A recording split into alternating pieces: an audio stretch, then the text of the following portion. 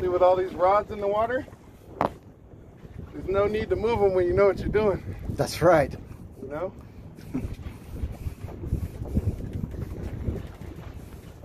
Just like this rod to the left of me, I'm gonna go under and work. Make the fish go where you want them to go. Not. No, sir. Here's one.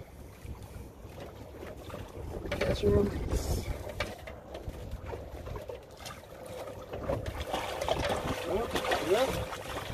Yeah. There it goes. Got me a little wet, but it was fun.